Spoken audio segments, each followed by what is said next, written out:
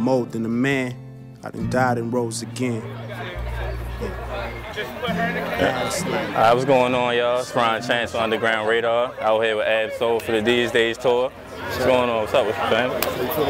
I'm feeling good. Alright. So, you know, your first headlining tour.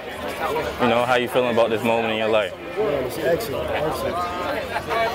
Beautiful people out here, beautiful energy, you know what I'm saying? I got some nice paintings, some nice CDs, you know what I'm saying, to check out, you feel what I'm saying? It's beautiful. Alright, alright. Any independent artists you like right now? Independent artist? Yeah. Um, It sounds like you still consider yourself independent in a way, right? yeah, right. Um, I really like Assad.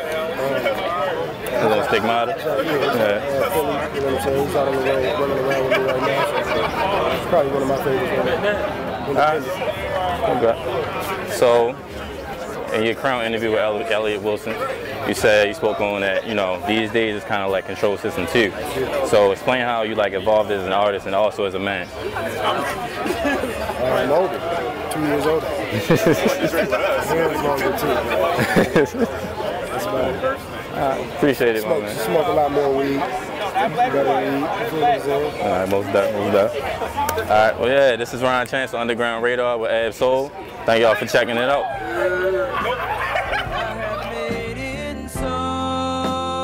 Know, all I can do is keep it real.